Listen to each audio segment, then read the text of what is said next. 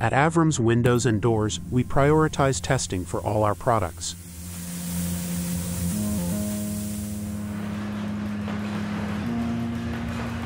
Our windows and doors, including those designed for hurricane-prone regions, undergo extensive testing to withstand high winds and impact forces.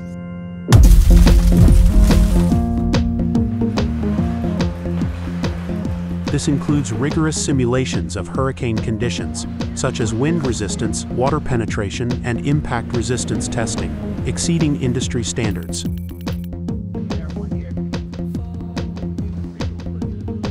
Our windows are engineered and tested to withstand the impact of flying debris, utilizing impact-resistant glass to protect buildings from wind pressure and windborne debris.